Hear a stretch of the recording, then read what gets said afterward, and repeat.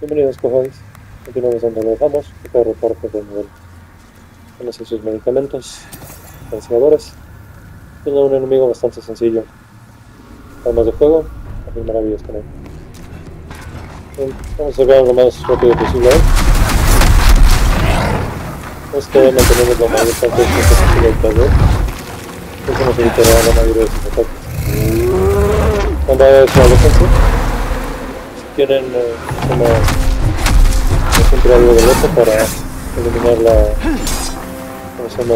Que nos llega tener este medicamento de la oscura. Por eso todavía más rápido. Me mantienen las espaldas, va a ser muy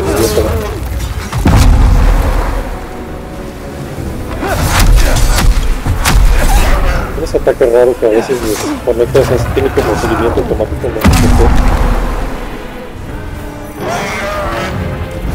Cuando llega el combate como todo, ¿no?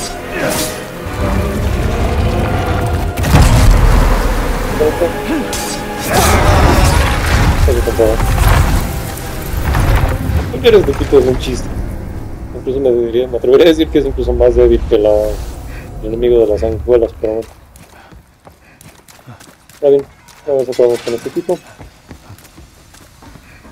Tenemos aquí la archipiedra y como siempre tenemos acceso a Rualme. De este lado, aquí tenemos. Toma de registro. Y fondo un pequeño objeto más.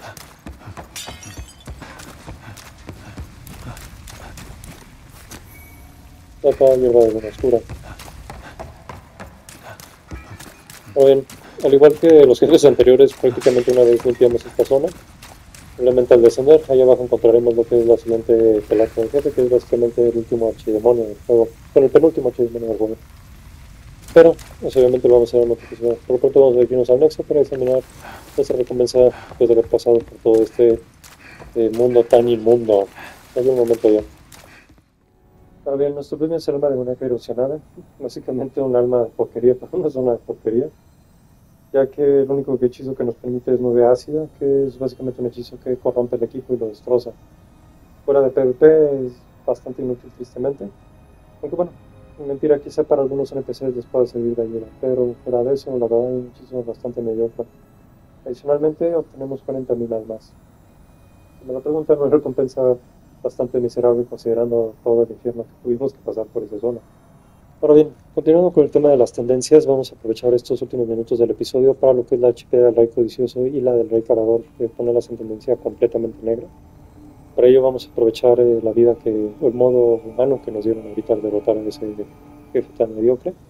Y alrededor de nuestros eh, bancos o reservas de piedras de, de de rojos efímeros, vamos a utilizar alrededor de unas 13 para poder poner en tendencia adecuada estas zonas. Así que, pues bueno, saquen las archipiedras y después de morir los ven en un momento ya que están en, son en tendencia completamente negra la, el Palacio Boletaria, el, túnel, el túnel del Comillo de Piedra y la Torre de la Perla.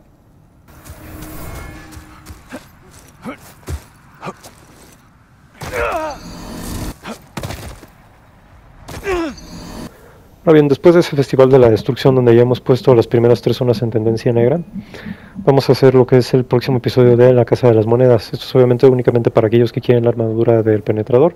Aquellos que no les interesa esa armadura se lo pueden saltar y continuar avanzando de forma regular con la guía.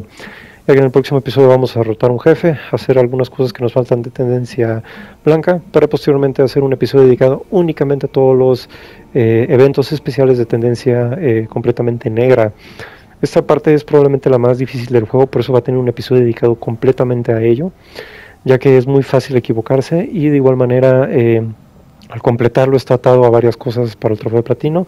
Entre ellos lo más importante es básicamente el tener todos los, todos los anillos prácticamente en una partida. Entonces de ahí la importancia de hacer esto correctamente. De igual manera, eh, les recomiendo eh, antes de hacer ese episodio crear una copia eh, ¿cómo se llama? En la nube, en caso de que quieran obtener eh, la mayoría de trofeos en una sola partida. Pero bueno, ya entraré un poco más en detalle cuando llegue el momento de eso. Por lo pronto, hasta aquí dejamos el episodio. Muchas gracias por ver, no olviden suscribirse y comentar. Y pues nos vemos en un próximo episodio de la guía 100% completa de Demon Souls.